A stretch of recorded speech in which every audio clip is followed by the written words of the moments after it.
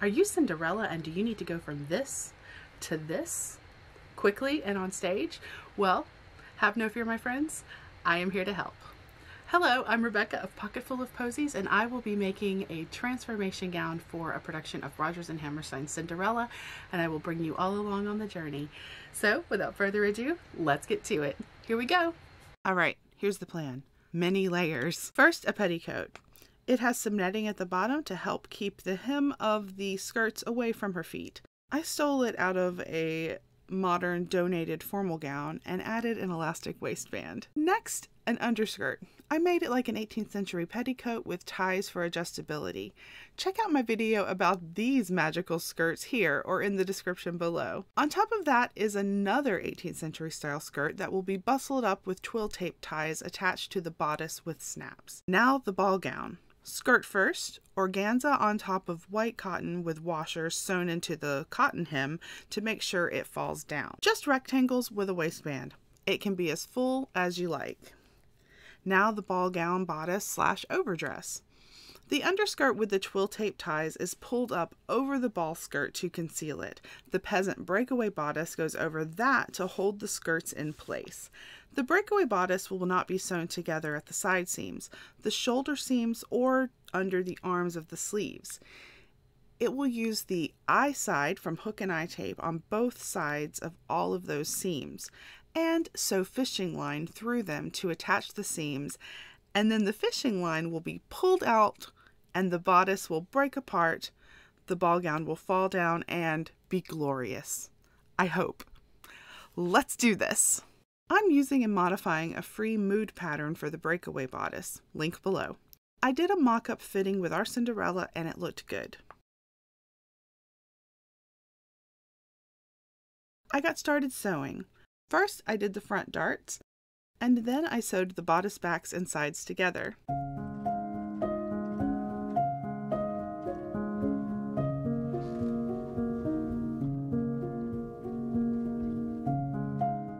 I repeated the process with the lining fabric. I added boning to the side back seams.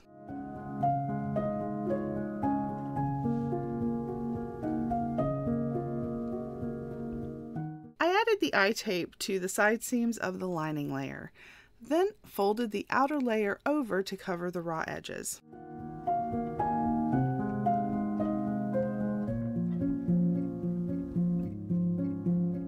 I realized then that I had forgotten to add boning to the side seams, so I sewed on a piece of twill tape to act as a boning channel.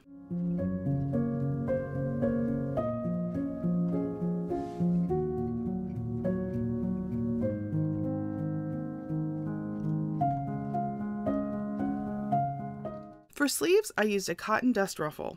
I just made up the sleeve pattern. But Mood has lots of free sleeve patterns if you're looking.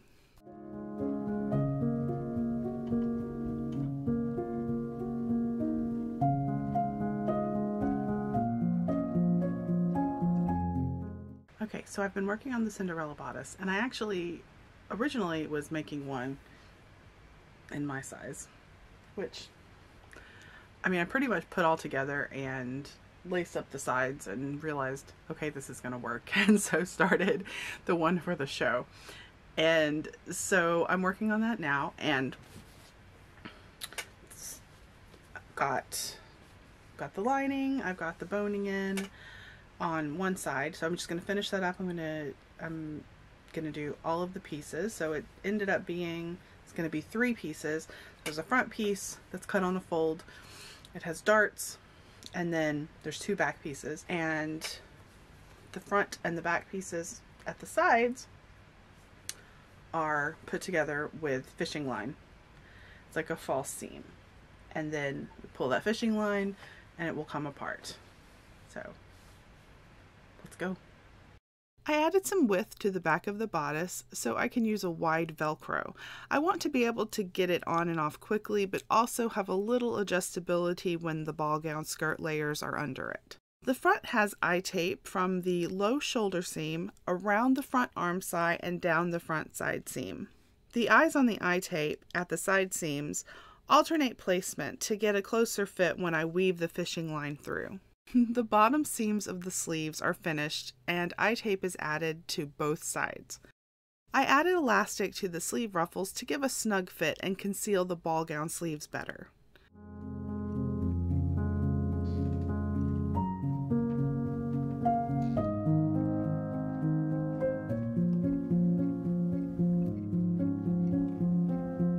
The front armscyes of the sleeves are attached to the bodice front armscye with eye tape.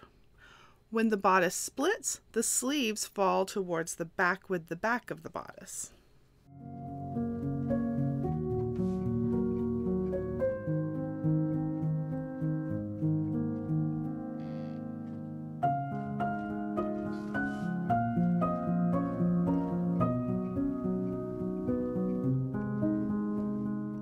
The sleeves are only actually sewn to the back of the bodice.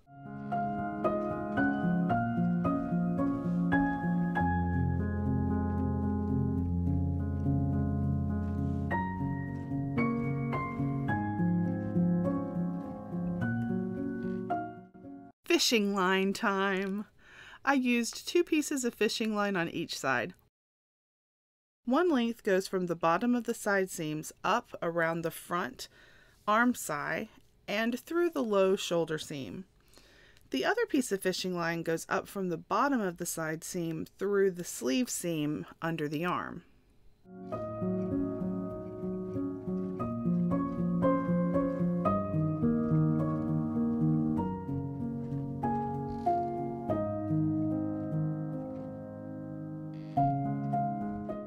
And it works. Petticoat. underskirt, overskirt, which is inside out because once the ball gown goes on, it gets pulled up like this. So then the inside becomes the outside. Washers covered in twill tape will be used to pull the fishing line out when she needs to transform. I attached the washers to the bodice with a narrow piece of elastic so she could pull but the washer wouldn't go flying off when she did. Metal snaps on the inside of the bodice are used to bustle the skirt and keep the bodice attached to the skirt during the transformation.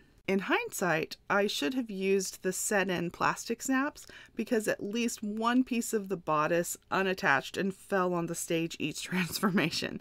It's not super noticeable from the audience though, so it worked just fine, but those set in plastic snaps that have a harder grip or more heavy duty metal snaps would probably have worked better.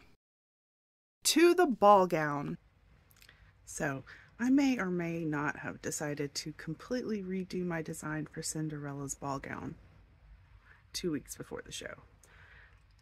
Now, the reason I did this is because originally I was planning on using a wedding dress and I realized as we were kind of getting things together and working on the transformation and all of that, I realized that it was going to be way too heavy to have underneath her other costume because it would have to be pulled up and put inside the bodice, the skirt would, and there was just too much material and it was just going to be too heavy. So I'm redoing it. I'm also using silk taffeta for the bodice and the kind of overskirt, which I had uh, planned to do originally because I had some left from my Victoria, one of my Victorian projects, and it wasn't quite enough for me to do a whole costume out of, but it's enough to do a small bodice and a kind of polonaise small polonaise overskirt. And then for the skirt, I'm going to make a, just a skirt, a big skirt with the underlayer is going to be just white cotton and then I'm going to overlay it with this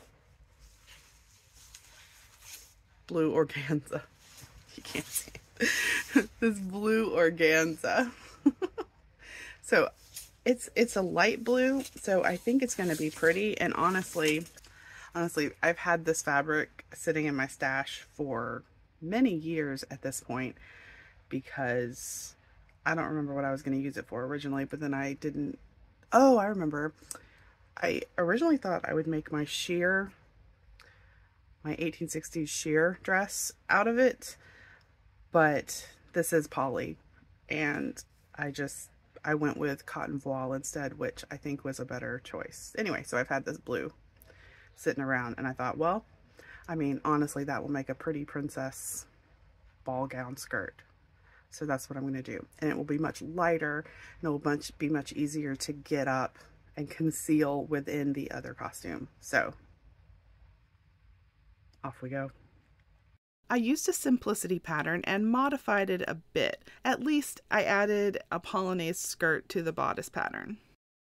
Some pretty sparkly lace trim was added to the skirt and bodice. I used a lace enclosure instead of a zipper for a better fit, although the quick change would have been easier with a zipper, but I wanted the costume to be a little more versatile if we want to use it for a future production for a different actress who's not quite the same size. Here is the peasant costume without the ball gown underneath. You can also see I used an 18th century pocket to put her mic pack in. So useful. If you'd like to see how I make 18th century pockets, check out the link in the description for a video about that. And then here, the ball gown is underneath the peasant costume. And ball gown! Performance rights to Rodgers and Hammerstein Cinderella are very, very strict, so I don't have any video from the show. Hello, I am here with Michaela, our Cinderella. Brought her back in to redo the transformation so you all can see her. So this is what she wears underneath her costume. She's got her stays and she's got her blue petticoat and her shoes. I think you also had stockings too. But so building up the layers, we have her little bum pad.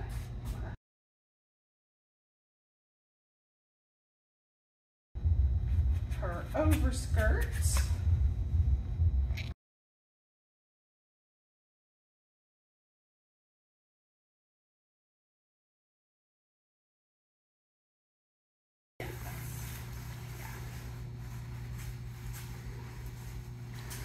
I gotta get my arms out of it.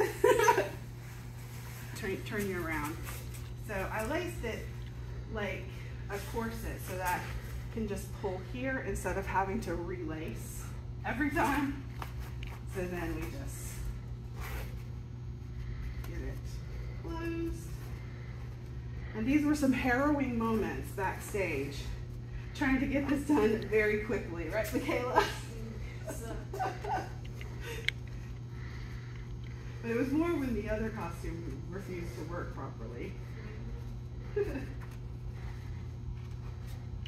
right, so same thing here. I'm just gonna tie this in the back.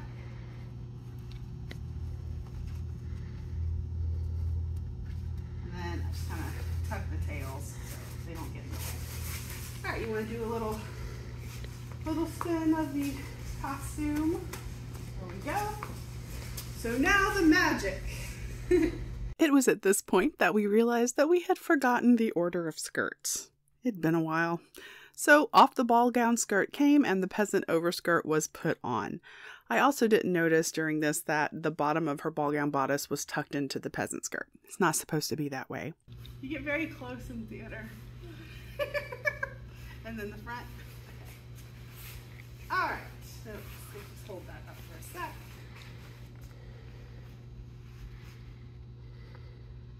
There we go.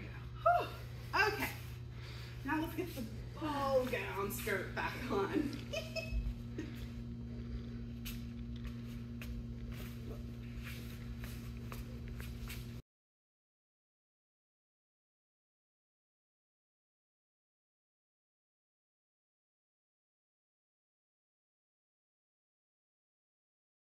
So now we put on the peasant bodice.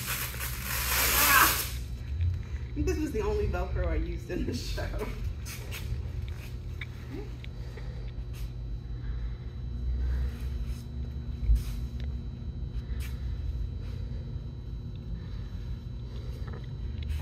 So it is held together with fishing line.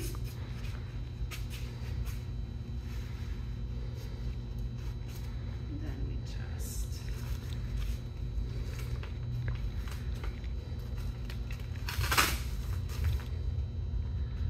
Velcro it and then this little scarf thing just hooks on to help hide the ball gown as much as we can. Okay, now to conceal all of this, we've got little snaps and we take, we hold this up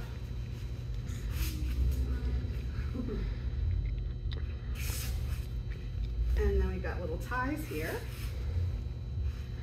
Kind of put the the peasant skirt up into the um, other.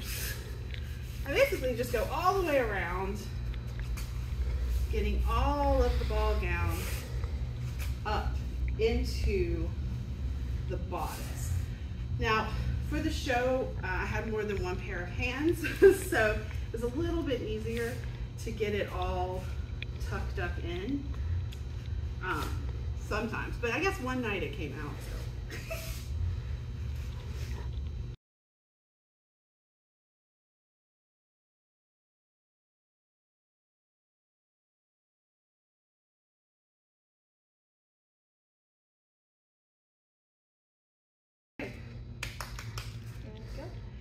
and go.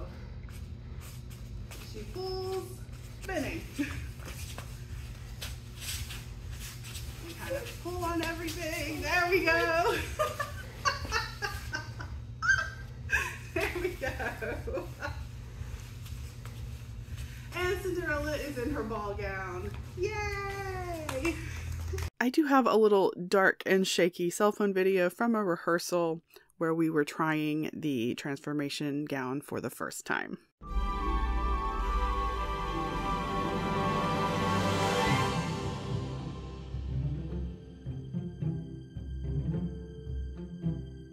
Thank you so much for watching. I really appreciate you spending your time with me. If you enjoyed this video, give it a like. I will see you again on our next sewing adventure. Bye!